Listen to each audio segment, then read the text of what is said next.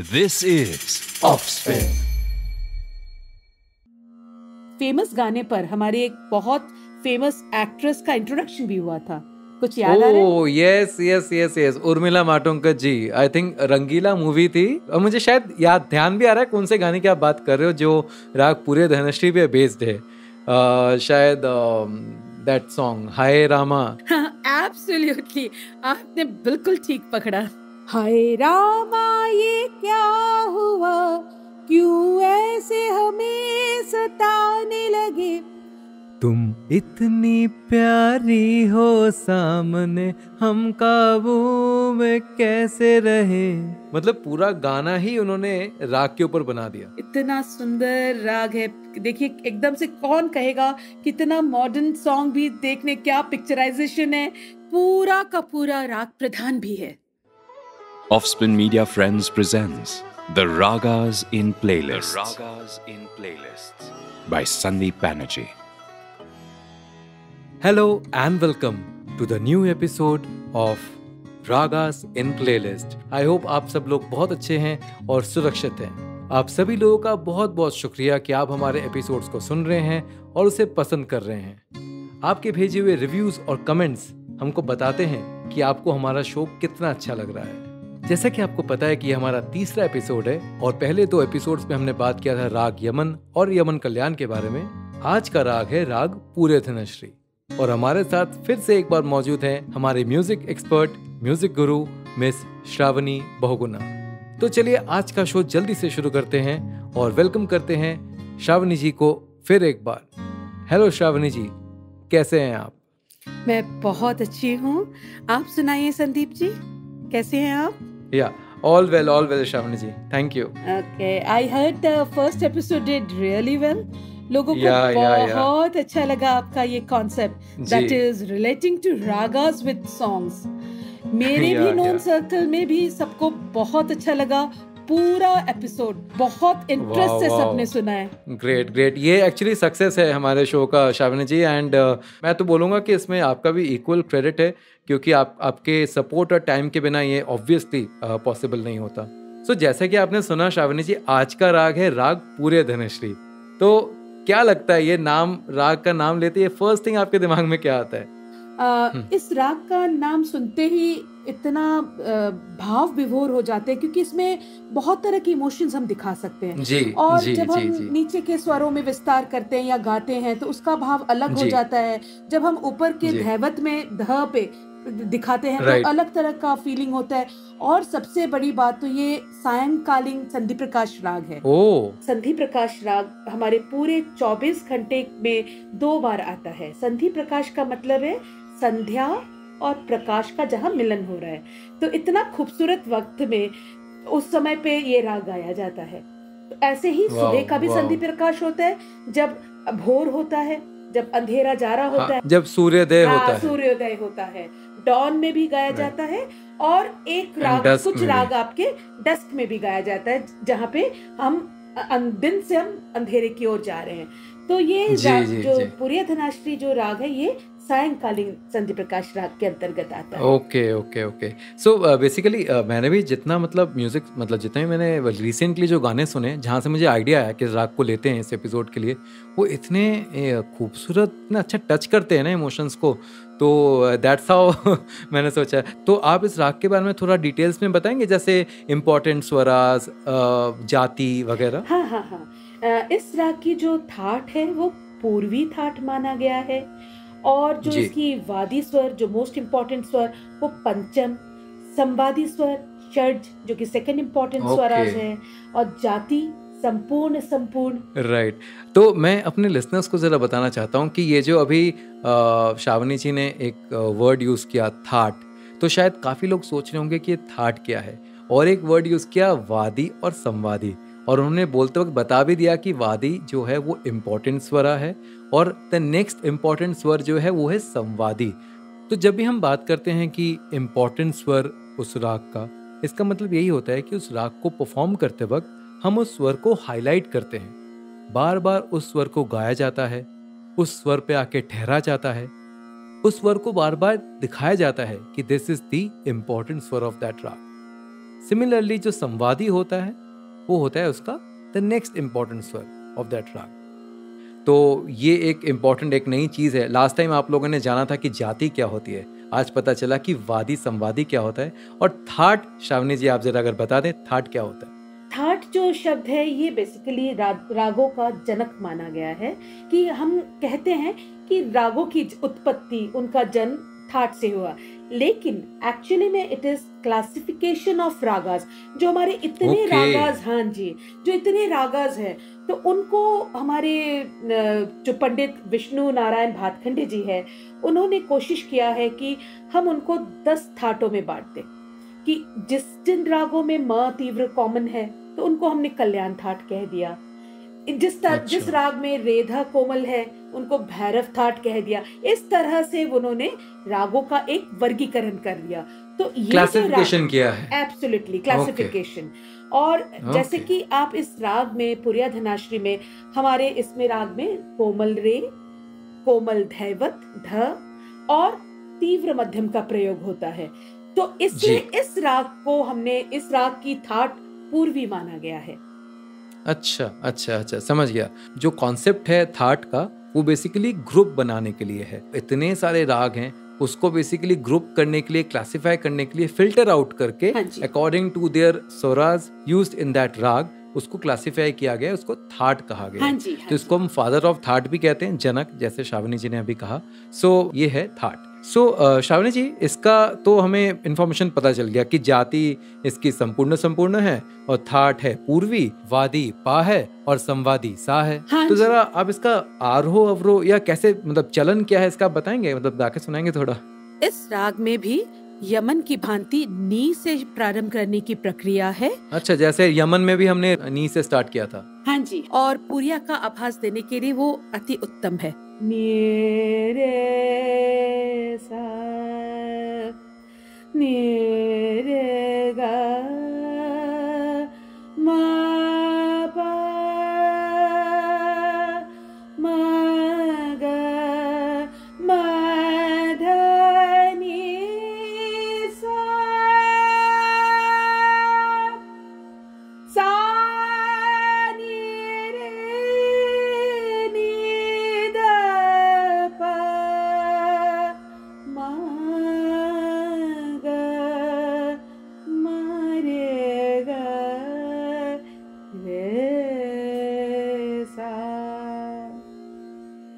इस प्रकार से इसके आरोह अवरोह लिया जाता है इस राग में। कितना अच्छा लगा। जो इसकी आत्मा है पूरी धनाश्री की। मुख्य जो फीलिंग है जिसे हम पकड़ कहते हैं तो मा गा मा रे सा। हाँ हाँ हाँ हाँ। ब्यूटीफुल ब्यूटीफुल जितने भी गाने आज हम डिस्कस करेंगे तो उसमें मेनली यही हम देखेंगे कि हर गाने में किस तरह से इस फ्रेज को खूबसूरती से यूज़ किया है। तो the song which I can immediately recall आपने जैसे ही सुनाया, इसका आरो और अवरोह मुझे याद आया वो गाना। काहे छेड़ छेड़ मुहे, है ना? देवदास मूवी का गाना। हाँ प ग हाँ राइट तीव्र मध्यम लग गया धैवत कोमल है ना? जी। ग म ध नि सा रे नि सा। वाओ क्या बात है। तो बेसिकली सा ने धा पा ये धा कोमल था ग मा गा ये मा तीव्र ग रे सा कोमल रे क्या बात है। तो कितना ब्यूटीफुली कोमल रे कोमल ध और तीव्र म को यूज़ करके ये राग बनाया। एक और बड़ा फ़ेमस गाना है और जो कि दीपिका पादुकोण ने किया और बहुत रीसेंट है। आपको सुन के ये बहुत अच्छा लगेगा कि ये भी इसी राग में है। अच्छा मैं समझ गया आप कौन से गाने की बात कर रहे हो? मोहे रंग दो लाल राइट बिल्कुल सही। मोहे रंग दो लाल। मोहे रंग दो लाल नंद के लाल लाल।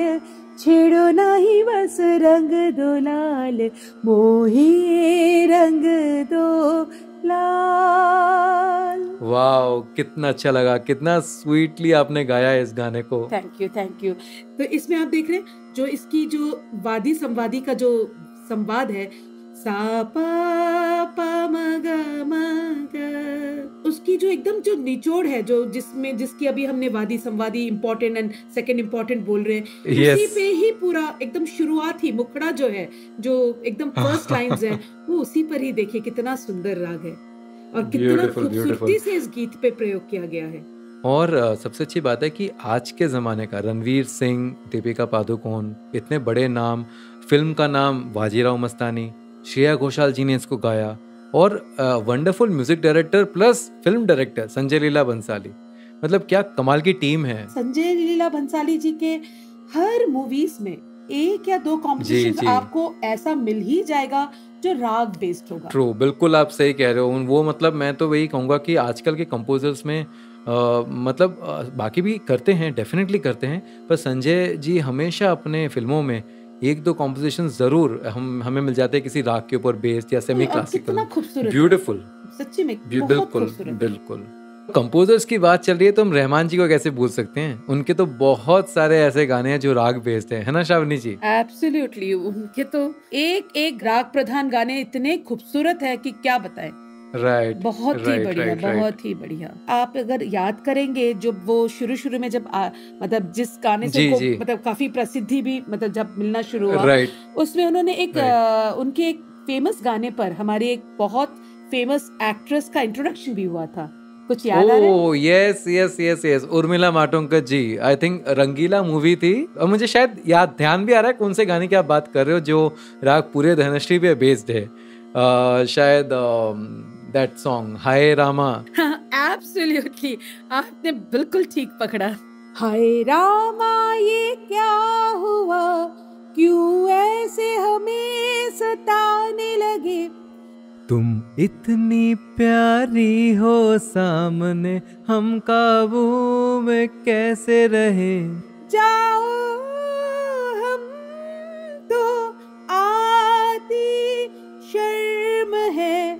तेरी ऐसी अदा पे तो फिदा हम हैं। मतलब पूरा गाना ही उन्होंने राग के ऊपर बना दिया। इतना सुंदर राग है। देखिए एकदम से कौन कहेगा कितना मॉडर्न सॉन्ग भी देखने क्या पिक्चराइजेशन है। पूरा का पूरा राग प्रधान भी है।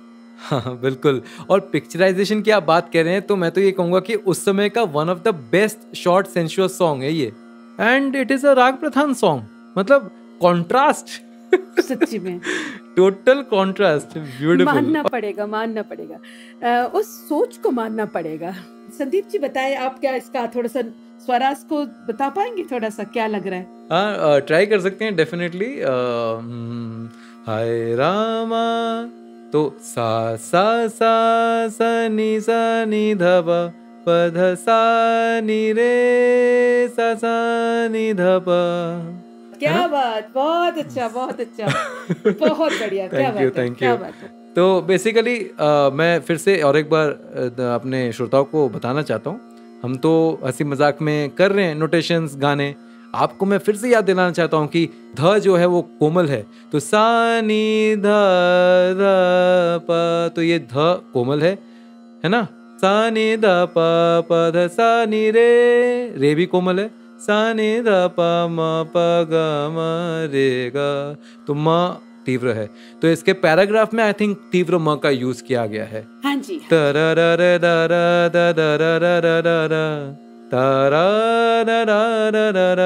ऐसा कुछ था मैं हाँ, थोड़ा सा भूल रहा हूँ पर ऐसा कुछ इसका ट्यून हाँ था। So beautiful Rahman ji thank you for giving us this song on raga Puriya Dhanashri और अ, मुझे ना और एक गाना याद आ रहा है रहमान जी का रुत आ गई रे रुत छा गई रे है ना?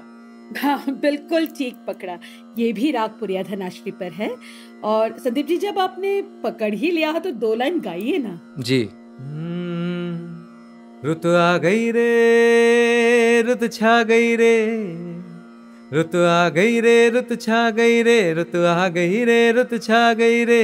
पीली पीली सरसों फूले, पीले पीले पत्ते झूमे, पीहू पीहू पपिया बोले, चल बाग में।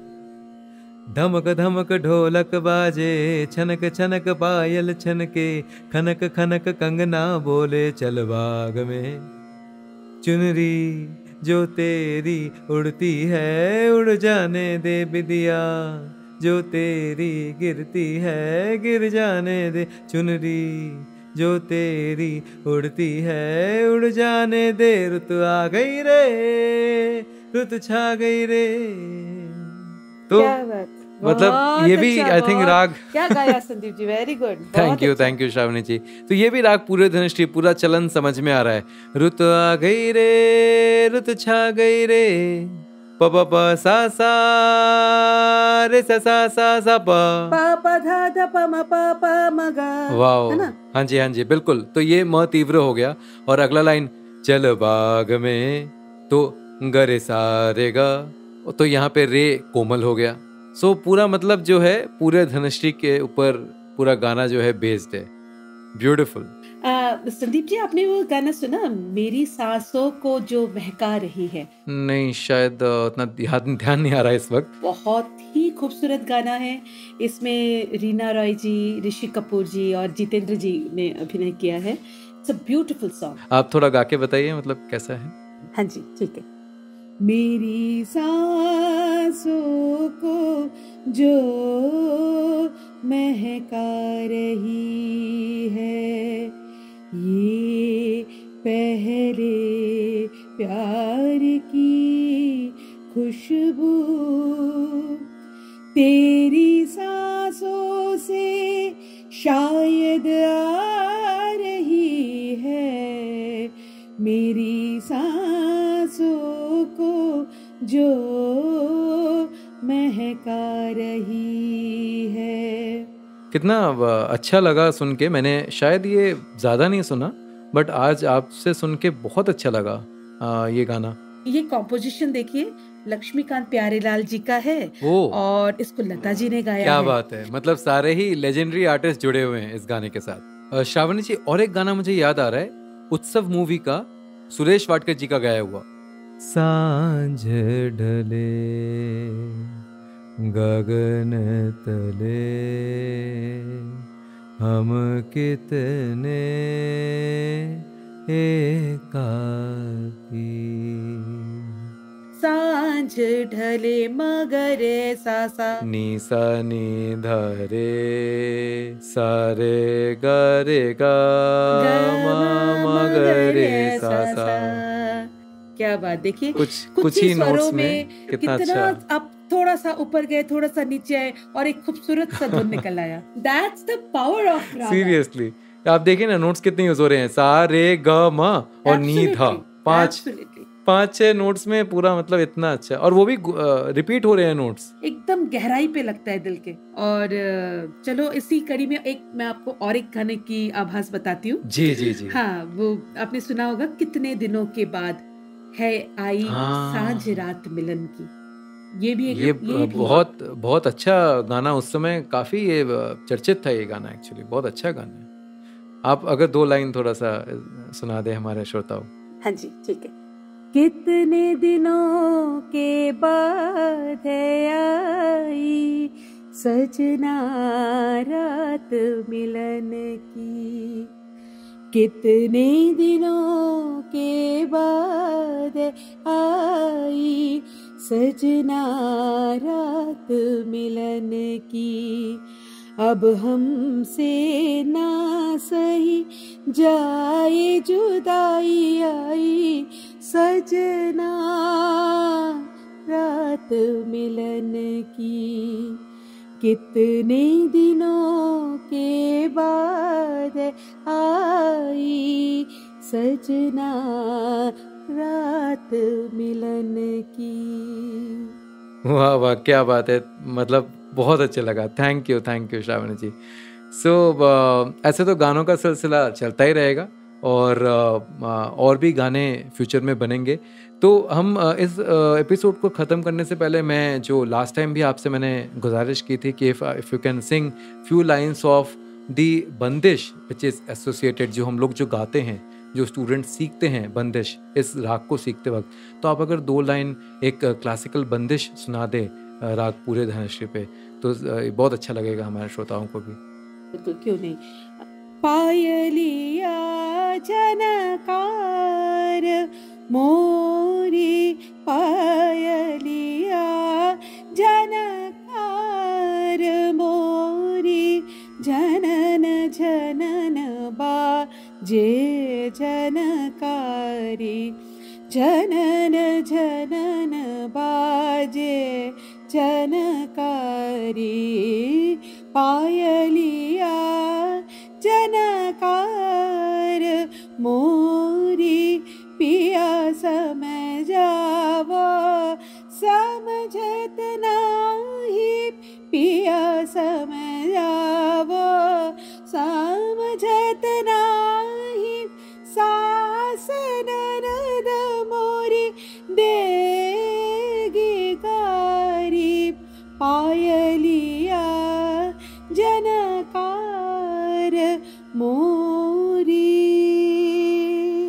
ब्यूटीफुल ब्यूटीफुल मज़ा आ गया। Thank you thank you so much तो इसी के साथ हम आज का हमारा जो ये एपिसोड है जो कि राग पूरे धनुषि के ऊपर था, वो हम एंड करते हैं। आशा करते हैं कि आप सबको बहुत अच्छा लगा होगा आज का एपिसोड और ज़रूर हमें बताइए हमारे सोशल मीडिया प्लेटफॉर्म्स पे हैंडल्स पे कि कैसा लग रहा है और कौन से राग आप लोग सब सुनना चाहते हैं। And before going thank you so much Shravani ji to be with us for this show and हम हमें सपोर्ट करने के लिए। अगले हफ़्ते में हम एक फिर नए राग के साथ आएँगे।